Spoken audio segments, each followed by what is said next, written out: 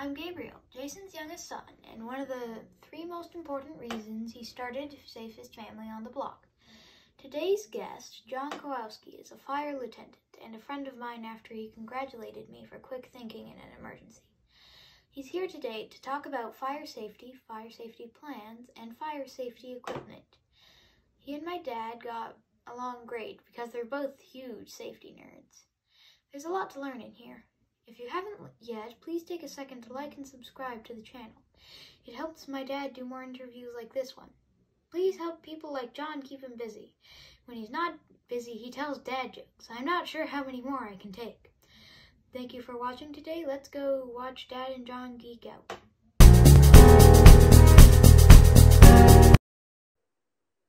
Hello, everybody, and welcome to another episode of Safest Family on the Block, where knowledge is power. I'm your host, Jason, and joining us today is John Kowalski. Hello, John. Hello, Jason. Thanks for having me. Uh, pleasure to be here. Thank you. John Kowalski serves as a lieutenant and the public information officer for the Lone Oak Volunteer Fire Department in Signal Mountain, Tennessee. He's a marketing professional by trade and a firefighter with hazmat, wildland, urban interface, and several other certifications. And he also serves as the vice president on the board.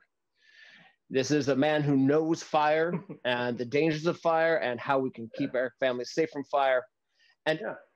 fire safety has always been a bit of a pet peeve of mine uh, in terms of I ran a martial arts school for a very long time.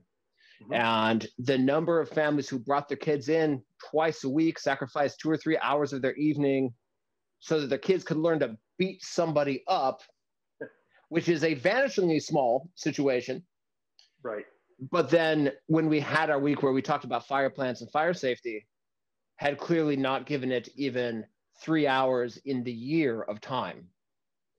And I think fire safety is hugely important for family safety. And I imagine you do too, considering what you do with your spare time. absolutely. Absolutely. Yes. Uh, I, am a volunteer. Um, in, in just general education, um, the fire service in this country, about 76% are volunteers as opposed to paid. Um, especially, especially out in the rural areas. I'm outside of Chattanooga. Um, the more rural you get, the, you know, the more the population of volunteers um, comes up. So we do what we can.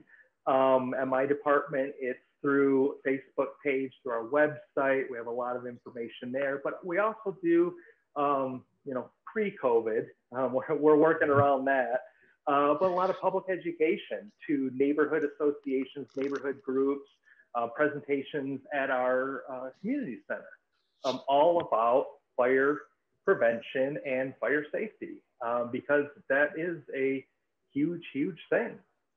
Um, you know, the, the first thing, if there's, I just want to get this right off the bat before I go into some other stuff. If there's Excellent. a fire, the most important thing, get out. Don't call 911. Get out, get safe, get a, a safe distance from your house or structure or wherever you are, then call 911. Make sure everyone's out mm-hmm. first. That's key number one. Um, and uh, you know, with that, it, it's um, you know, a, a, a, little bit of science behind it. You, you look at fire in general, you really need three things oxygen, fuel, and heat. And you, you take away any one of those things, the fire goes away. Um, you know, that's the, the science behind putting water on fire. You're smothering it, you're, get, you're cooling it down, you're removing the heat. Or putting sand on a, a campfire you're removing the oxygen. Um, so, so, those are, you know, some key things that, that I'll get into once mm-hmm. we get into some prevention tips and, and tricks, uh, especially outside your home, um, you know, what to do, what not to do, things like that. Um, and again, I think it bears repeating. Stop get at any out. time. And yeah. Yeah. yeah. No, so that's, I think it yeah. bears repeating. Get just out. Get out. Yeah.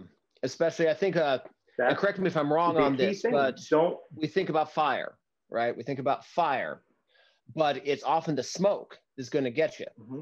So you could look at a small fire that you think it, it's not that, spreading very fast. I have time to grab yeah. the valuables, but the smoke inhalation gets you. you sure. Uh, you probably know off the top. That, the the stat on how many people Oh, yeah. die in a fire from the smoke versus the actual burning.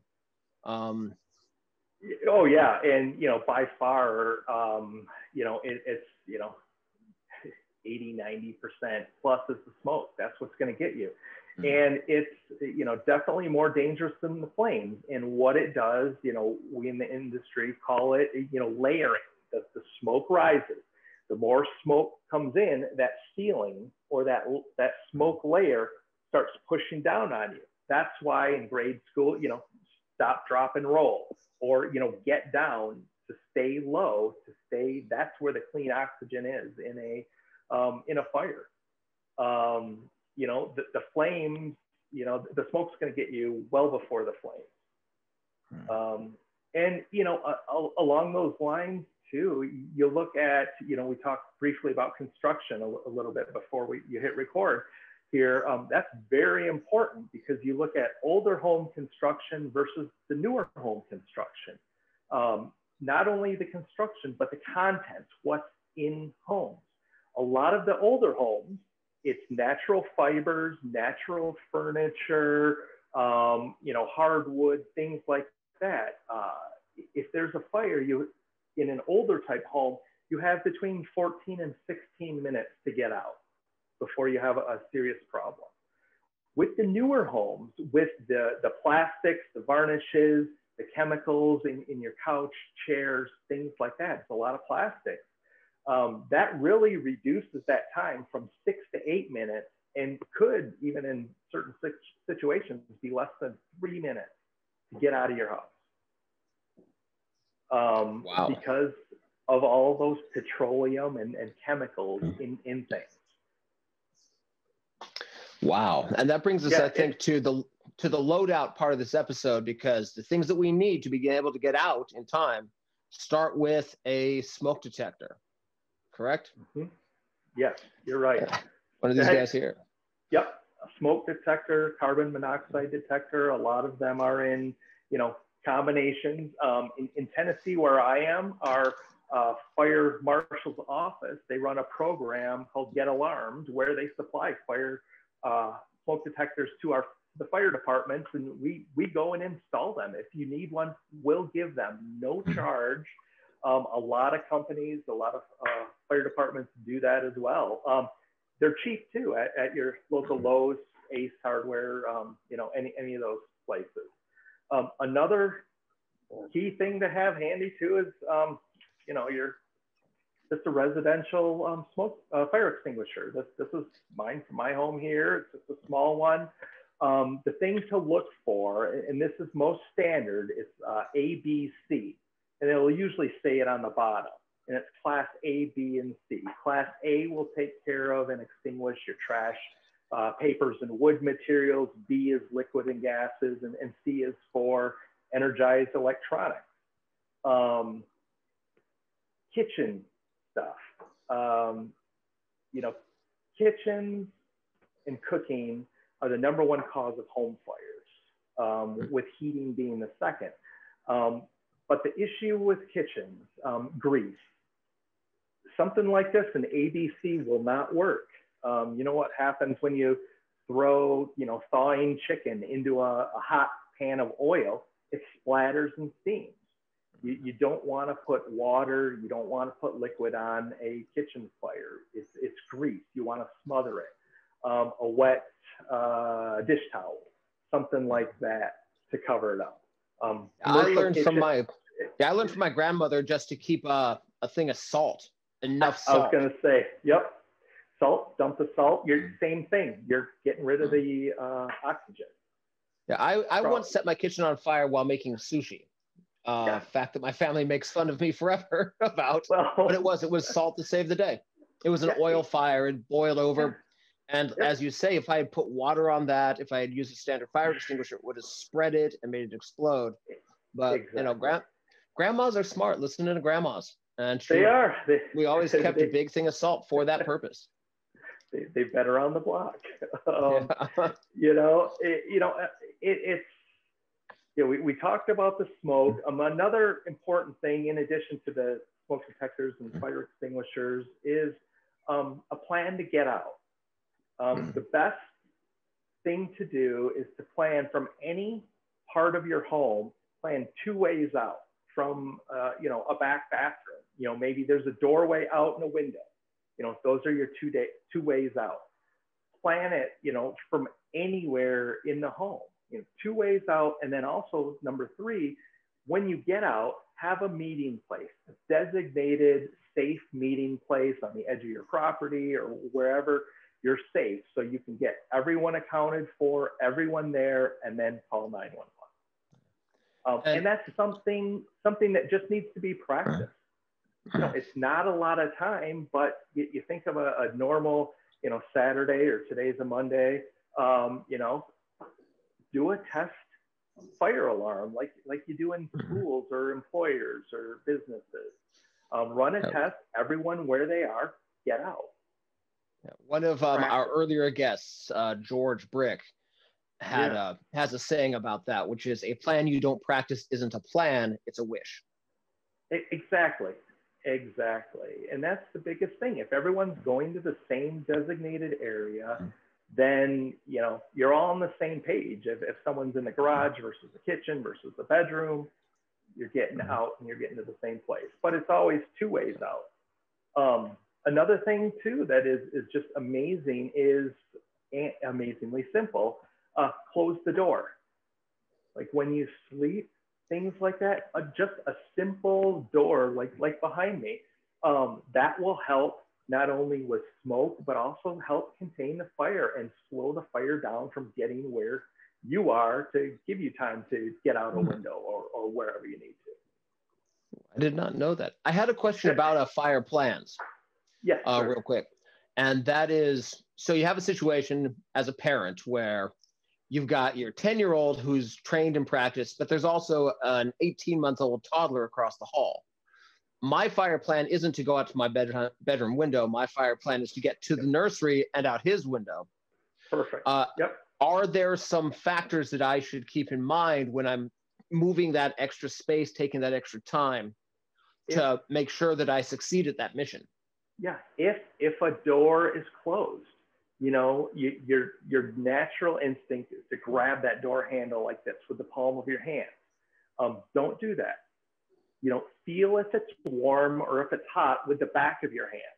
And mm-hmm. why you do that, you know, learn that in fire school. If you're feeling something with the back of your hand and it gets burned, you're still able to grab and grip things. Whereas if you have a burn right across here, it's going to be painful to do anything. Mm. Just you know, feel with, and it's you're a little more sensitive on the back of your hand too. You can feel heat a little bit better, you know, like if there's calluses and things like mm. that. Um, so to feel that, if, if it's warm, if it's hot, if it's cool, if it if it feels safe, you know, open it, give it give it a little nudge, and you know, get over there and get the infant. Yeah. And again, probably stay down if possible. Absolutely, and but you know too, if if that if that's hot, you know, get out your bedroom win- window, wait for the fire service. My child's in that window. They'll get in there really fast. You know, I'll have to. Gonna... I have to tell on myself a little bit, and I, have shared this story once before on the on the on the show. But yeah. this fire extinguisher used to live in the hallway between the master bedroom and our youngest child's room. And I was thinking, well, that way, if there is some fire, I could hit that and get out of there. Mm-hmm. But then it occurred to me, what if the hallway is on fire? Yep. So now it lives in the master bedroom. yep. Yep. And you know, an important part of this, not everybody, you know, you pull you pull the tab out, in which I lost it somewhere. You, you pull the tab mm-hmm. and you squeeze, and mm-hmm. you know, it, it's not only squeeze and you're aiming it, but you want to rotate it you know, do a, a sweep. You know, chemicals will go out of there. You want to kind of blanket the area so it, it smothers the flame, smothers the fire. So keep that. And what's the acronym? There's an acronym they use for that, right? And the last uh, one is sweep. Uh, yeah, pull, aim, squeeze, and then sweep. Exactly. Uh, in our family, what we do is we buy. You know, these are a two pack for 25 bucks. Yeah. And and we we replace them every year and just before just before the Fourth of July, and we use the old one so everybody in the family gets a chance to practice on a campfire once. That's perfect. That's a great way to, to get used because unless you use one, you don't know how they feel. You don't know really mm-hmm. what's going to happen and, unless you do. So that's, that's mm-hmm. a great way. Um, and you mentioned replacing it every year. That's mm-hmm. excellent. Um, same. Every month, you should be checking the batteries of these things. Mm-hmm. Just push the test. Um, and then usually twice a year, it doesn't hurt to change nine volt batteries. Um, you know, do do the trick, and you know, usually it's Labor Day and Memorial Day. You know, mm-hmm. switch the batteries and all the smoke detectors. Yeah, out here we do it on a fall back and spring forward day. Yep. Ah, yeah, exactly. as long as, as yeah, and it doesn't really matter. It could be your birthday and your spouse's birthday if they're separated yeah. by six months. Yep. But whatever, exactly. just as long as it's twice a year.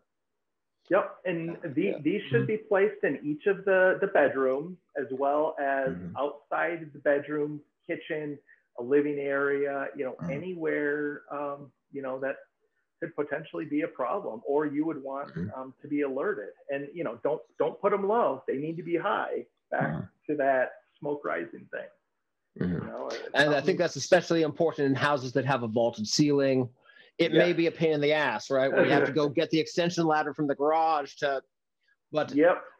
Is the is am I correct in thinking the highest point in the home should probably have at least have one of your things there? Yep, absolutely, mm-hmm. absolutely. Because I mean, if not, if that smoke can be, you know, especially if you if you have a big vaulted ceiling, it could be mm-hmm. eight, ten feet of smoke before you even know. And by that time, it, you know, it might be too late to save any part of the structure or to mm. even get out safely.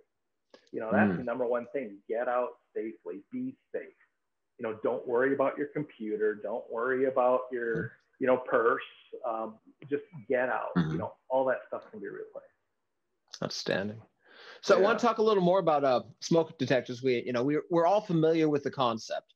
Yep. And one of the things I like to do on these equipment episodes is find out what are the ways that we are doing this wrong mm-hmm. Mm-hmm. that you've seen and how can we correct that? Um, they're they're annoying. They go off every time i burn toast so let's disconnect it. Let's pull the battery out.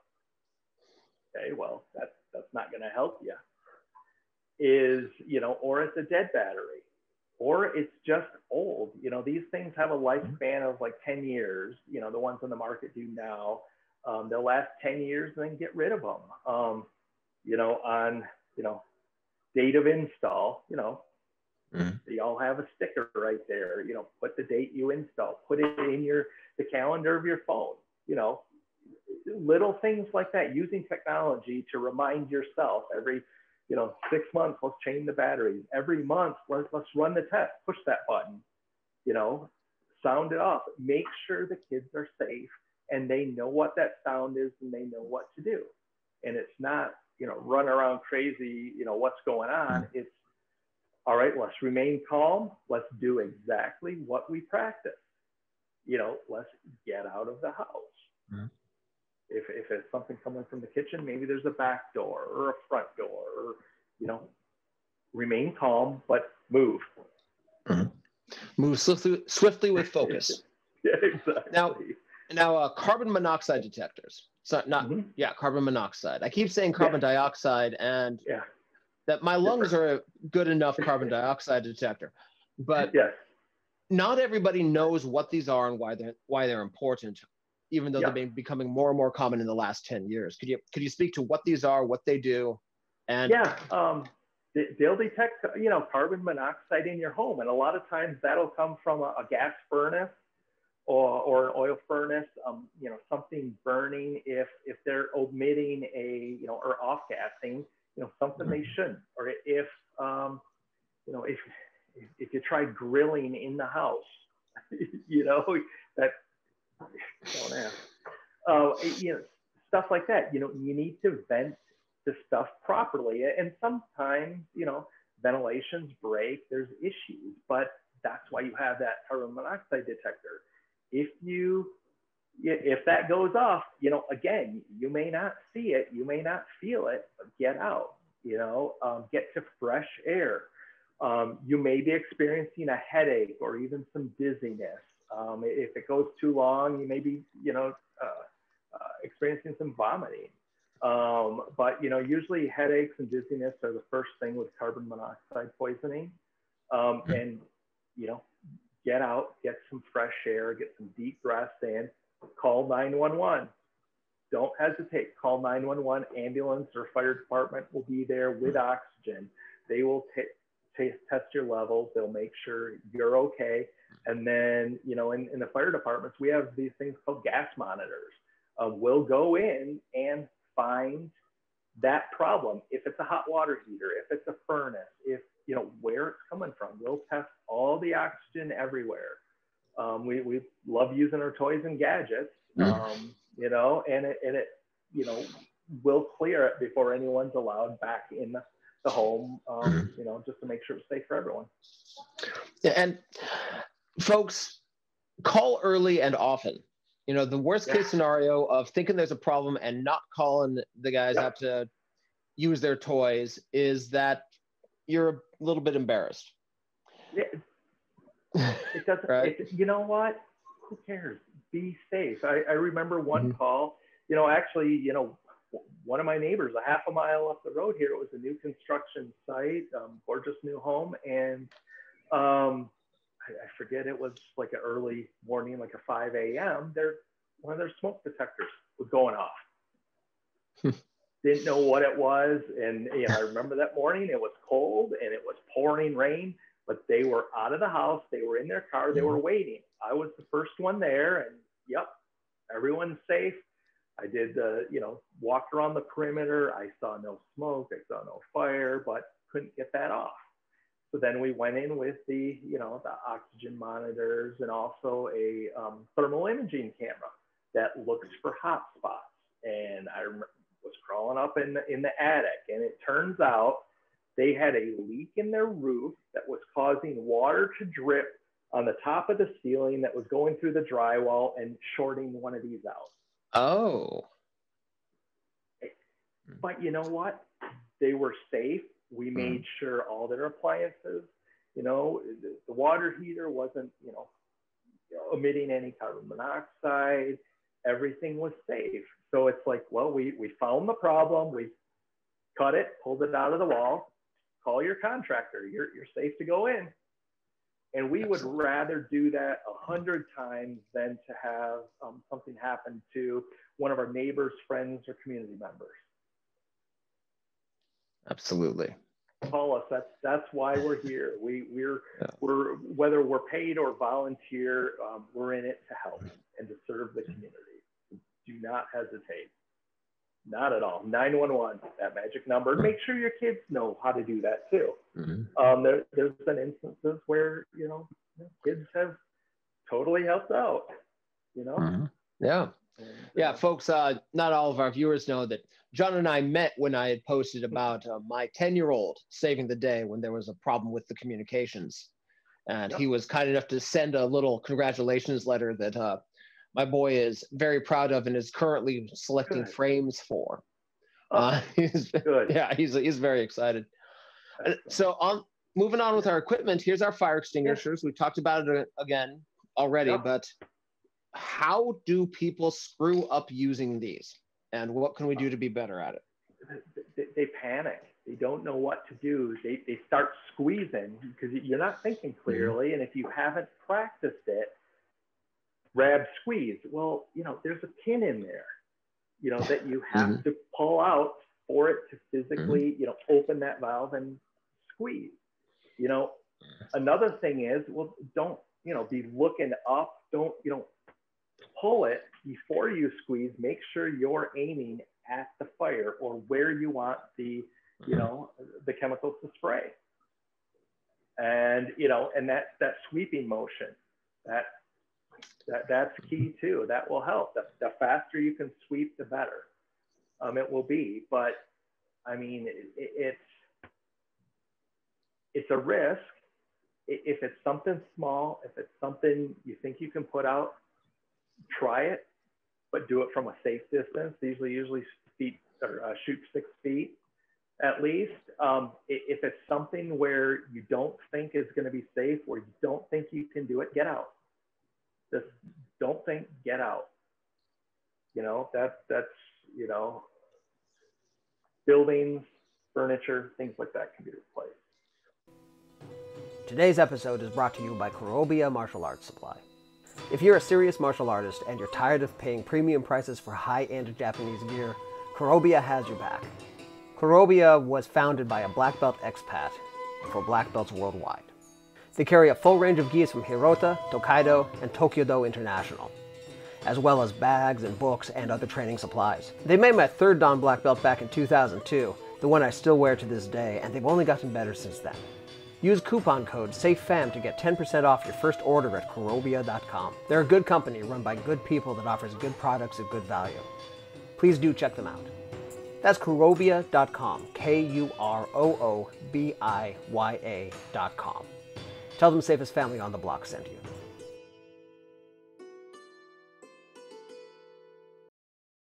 I've heard that feedback uh, in an episode where we were doing uh, car emergency supplies about a fire extinguisher in the car, and that maybe Yeah. one of the biggest mistakes people make with fire extinguishers is using them when what we should be doing is escaping. Exactly, exactly. You may need this to create a pathway to that door to get out. Um, that they'll you'll run through this a lot faster than you think. Um, don't don't mess around with it. Get out. Stay safe. That that's that's the key. Um, you know, ki- kitchen safety and, and cooking. You know, you, you talked about your your sushi incident, and you know, just a, cou- a couple tips there. You know, Mhm. stay in the kitchen if you are, you know, frying, broiling, boiling. You know, anything there, even if something's on the stove, if that stove's on, be there because it only takes a second. You know, turn your handles in so someone walking by doesn't knock something off. You know, burns, scalds, that that's another you know dangerous thing, and and those are no fun. Um, you know, and and keep things that can burn. If you have a gas stove, don't put your dish towel right next to the stove. You know, that could ignite. Oh. and- Now, one of our earliest episodes was with uh, Justin Shore, who runs the paramedics at San Francisco International. And Sure. he said that in his career, the most common cause of burns was coffee and tea Mhm. for children. Yep. And so being aware Oh, of that heat, even when it's not fire. Exactly. And, you know, for small children, baths too. Scalding is an issue. Make sure it's, it's the right temperature, just like using a, a bottle on the, the underside of your wrist. You know, put your wrist under that tap water and make and be there while it's filling. Never leave a child unattended and make sure they don't play with the knob and crank it all the way to the hot. You know, that's, you know, going to be an un- unpleasant incident also. Um, so it, it's a lot of common sense. It's a lot of, you know, thinking about this before an emergency and planning and going through the steps just in case. You know, hope you never have to, you know, really get out of your home, but you know, practice once, twice a year. You know, make sure everybody knows that. Um, you know, and you know, going outside, you know, depending on where you are in the country and what the wildland situation is, if you're um, susceptible to fires, a lot of dry areas, California, um, Oregon, Nevada, you know, all of those areas. Um, and, you know, even in Tennessee, we've had, you know, that's when I actually joined uh, the volunteer fire department here. I've had no experience, you know, till I moved here. And that was after the 2016 fires up in Gatlinburg. And, you know, I, live in a wooded area and, you know, I want to do what I can to, to help the community and, and help, you know, protect the community as well as protect my family and my home here too. Um, so a couple little things that you can do, you know, make sure your gutters are cleaned out. You know, those dry leaves, you know, those, those are a perfect thing to ignite from, you know, any, you know, flying embers. Um, you know, uh, if there's a, a forest fire, embers can literally, you know, sail in the wind up to a mile. And if they land in your gutters, that could ignite that, and, and then you have a, an issue on your hands. Um, and they and they say create a, a, a 30 to 100 foot perimeter around your home, a, a safe area. And that's meaning, you know, remove dry leaves, remove twigs, remove anything that can catch fire. Um, if, there is, uh, you know, a, a tree with branches going into your power lines, call the power company. They'll come out and trim that. They'll make sure those power lines are safe. Um, you know, also with, with chimneys, um, you know, 15 feet around a stovepipe or a chimney, keep that clear of any any trees, branches, things like that.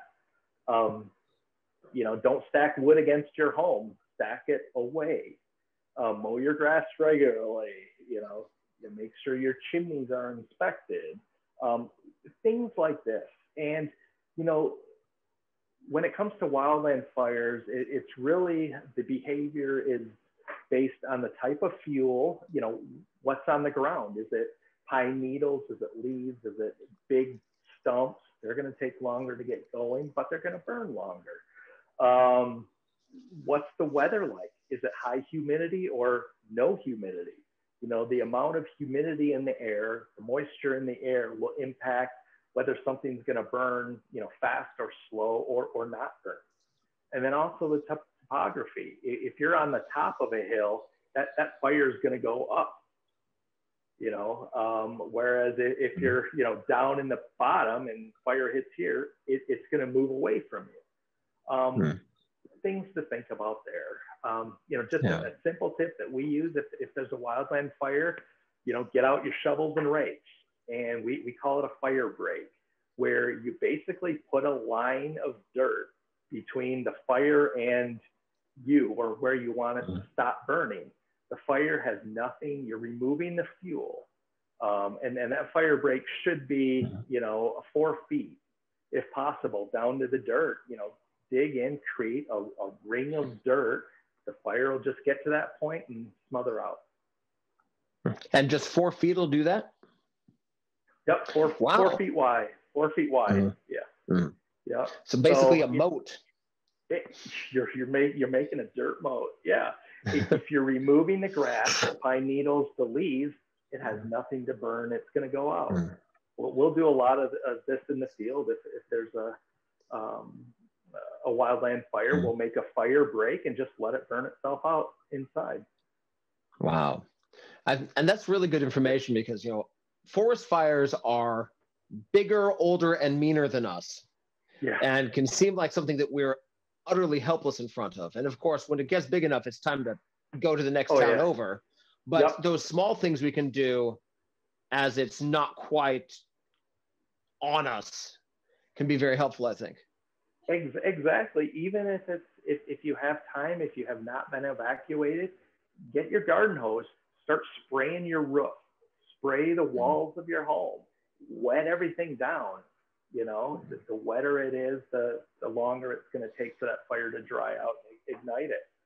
Um, you know, outside with backyard campfires, you know, make sure they are 100% out. That's a huge, huge issue. If you see it smoking, if you see glowing embers, don't go in your tent and go to sleep. Get your shovel, dump sand on it, put it 100% out. Then you do not have to worry about any issues um, you know that that's what caused the uh, fires out here, and yeah, devastating. Some unattended, um, you know, campfires. And that gets back to so many of the things you're saying is know know what you're doing, and then go do it. And knowing how to put out a fire properly is a skill. I think that's you don't really learn it uh, in a lot of places unless you happen to be out there camping with somebody who already knows. Exactly. And even, you know, fall, especially um, burning leaves in your backyard. Don't make this monster pile and light it. If mm-hmm. that wind picks up, that could be some serious issues. Make them manageable piles.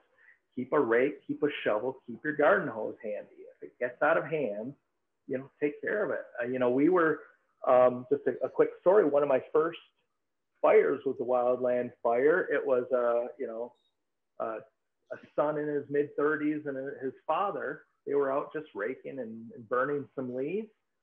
The wind picked up, it got out of hand. Next thing you know, they four acres of their forest was gone.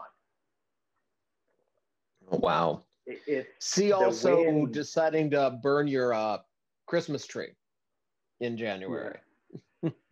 yeah, don't yeah. That well, that's another good thing. There, there's a lot of do a YouTube search on Mhm. uh, dry Christmas trees or dry you know dry tree burning. Mhm. That stuff is will go up like that. So that's why you know around holiday time keep it watered. Mhm. Yeah. There's your, there's your holiday tip for you know, 11 months from now. yeah. Now, John, you were kind enough to provide an outline for this whole for this whole conversation, and I noticed that we haven't yet. You talked about electrical smarts. hmm Yep, electrical. Um, you know that that can be dangerous. Extension cords are only supposed to be used for temporary use. I know we, you know, everyone does it, but you shouldn't. It doesn't mean it's right. You know, elect- extension cords are for temporary use. Um, also, if you have a cord that's frayed or broken, don't use it. Replace it. That is a fire hazard. Um, portable heaters. It's January here. Things are getting cold. Um, don't use an extension cord for a portable heater. Plug it right into the outlet and make sure it has, you know, safety mechanism. If, will it turn off if it gets knocked over? Um, if, if, Mhm. you know, things like that, make sure it's safe and, and just don't leave it unattended. You know, if you're, you have it in your home office to warm you while you work, you know, unplug it, turn it off when you leave. Is know. this is this important enough that it might be smart that in most homes we know which outlet we're going to put the space heater in each year? Would it be smart to go ahead and replace that with a GFCI, or is that that overkill? No, it, it wouldn't hurt to replace that.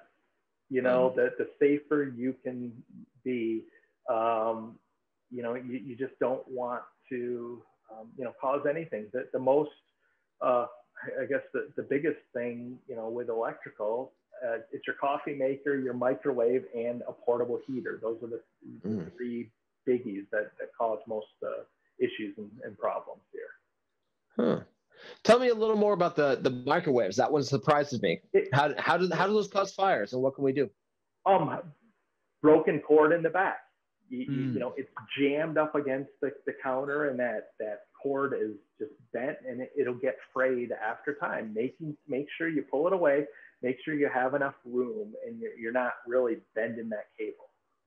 Oh, you know it, it, it's just you know it, it, if, if one thing i like to say too if, if you're doing your smoke detector battery change twice a year why not just take a look at all of your lamps your microwave everything plugged in just look at the cord is it fraying has you know your dog chewed on it it, you know, Mhm. that's a real simple thing to get in the habit and, you know, put it in, you know, as a reminder in your phone or in, in a calendar or whatever you use so you don't have to think, oh, it's the second Saturday of every March or you know, whenever you do that, you know, go around. It, it'll take you 10 minutes and it might save your family, it might save your home, it might save your, your belongings, you know, um, your, your valuable uh, photo albums, things like that that can't be replaced. Wow, So that's that's smart. Yeah, this It- idea of a safety calendar, just putting it on a phone. Yeah. Hey Siri, remind me to check my cords on on my birthday. e- exactly, it, it's Mm-hmm. really simple, and you know, you, you have a, a fire day, you know, Mm-hmm. twice a year, you know, for a half hour maximum. Well, let's make sure everyone knows how to get out in different areas of the, of the, the house. Let's no- make sure everyone, including, you know, a, a small child, knows how to dial 911. Mhm. Um, make sure you have those two ways out. Make sure you have a, a safe designated area outside of the home, a safe spot that everyone can meet. Um, check your cords, you know, change your batteries, you know, make sure this isn't expired. Um, I, I really love your idea of replacing it and then the older ones, let's test it out outside. It gives everybody a feel of what it really feels like to, to pull that nozzle. And also, not for nothing, your kid loves it. Oh yeah. Anybody under 12 thinks it's the best thing they've ever done. exactly, exactly, exactly. And you know, we have, you know, also, you know, talk to your local fire mm-hmm. department wherever you are. Um, you know, most of them, if not all of them, have fire prevention um, you know, materials, they give presentations, they can give you brochures, things like that. Talk to them, get to know them. You know, usually um, they'll be training, like volunteer organizations, they'll usually train at least once a week. Find out what day of the week they train, go up there, bring your kids, meet the firefighters, meet the chief. You know, we love it showing, you know, hey, let's get in the truck. You want to turn on the light? Hit that button. You want to turn on, you know, we love because you, you think about it in in an emergency situation, um, you know, we're going to be in our turnout gear with a helmet on, with a face mask on, with an air pack on. That's you know standard operating for going in anywhere there's uh, um, smoke or um, you know a dangerous situation, a car fire, anything like that, we'll be suited up. We, we look like this big hulking mass.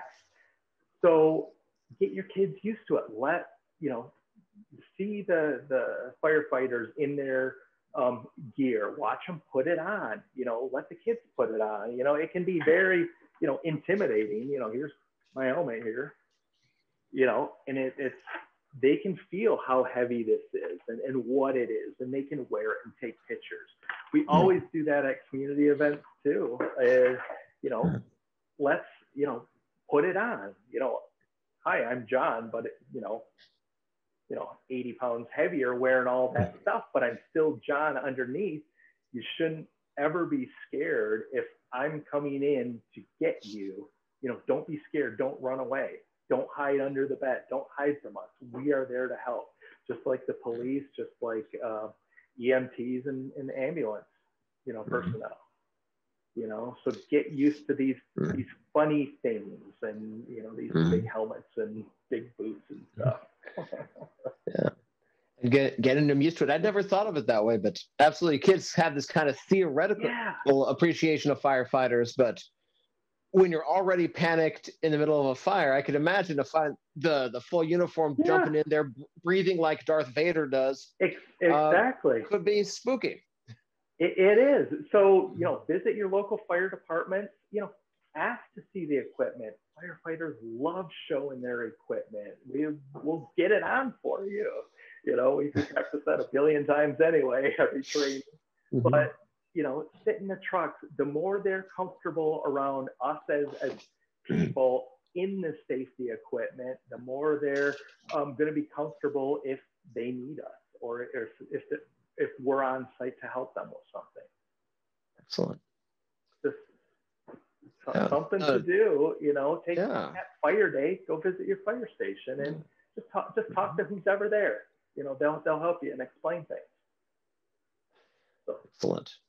So there was one piece of equipment we haven't mentioned yet, and I don't have one because I live in a, on a one-story ranch style. Uh, but fire ladders. Could you talk a bit about those and uh, how you can tell a good one from a bad one?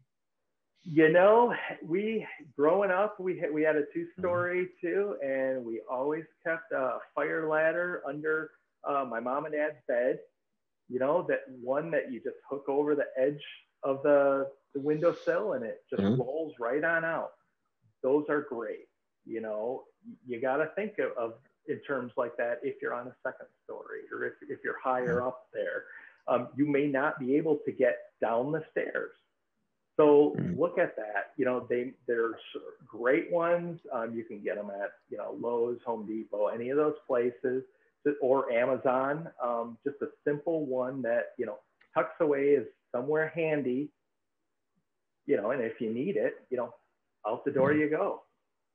And it's, you know, that that's something too. You might want to practice on a lower level, um, but in, in an emergency, you know, that could make a, a huge, huge difference and in getting out and getting you and your family safe. Do you have any advice again for the family with the younger child, the toddler who you're going to have to carry down the ladder? Mm-hmm. Climbing down a chain or rope ladder with just one hand is tricky. Are there techniques? it is, um, you know, it's get, getting that child between yourself and the ladder. Number one, you know, having them just hold on to you as tight as possible so you can kind of, you know, do two hands, one hand if, if you need to. And it's um, just go slowly. Be calm, one step at a time. If, if you try and go hurt, you know, fast, if you try and hurry, you're going to end up missing a step. You're not going to get your footing on that next thing and, and you may fall. Um, so it's just calm, collective, you know, one step at a time. No less. And it seems to me, seems to me as an, just as a pure amateur, once you're on the ladder, yep. the chances of the fire hurting you, even if you're moving kind of slow, are pretty slim. The smoke's going to go up and out. The fire is going to rise. Yep. The structural yeah. support is going to take so long for that to burn through that you can afford to take your time in those last moments. Yeah, yeah. You know, the, the fire is going to go out and, and look for the openings. A window may be one. And smoke's pouring out mm-hmm. that you know, that window, if there's a, a, hole in the roof, you know, that's where the smoke and, and the flames are going. Um, that, that's what we call ventilation. You know, if we hmm. have um, a structure that's on fire, we'll assess, all right, do we need to ventilate? Do we need to get on the roof and hmm. cut a hole in the roof to draw that smoke and those flames away from living areas mm. where we uh, may know there, there, you know, could be residents still trapped? you know so mm-hmm. the, the smoke the flames they're always going to go out the window or any any way possible so you're you're absolutely right going down the side of the ladder you're going away from the smoke away from the flames just just take your time it won't take you that mm-hmm. long to get down you know from a 2nd mm-hmm. story and if you're going if you don't go down slow you might end up going down much faster than you had wanted to exactly exactly and you know, just mm-hmm. have that child hold around your neck. Um, another technique is to almost cradle them, you know, mm. have them, you know, th- their bottom in, in between your arms here as you're going down, mm. you know, that, that's okay. another, another, another thought too. Mm.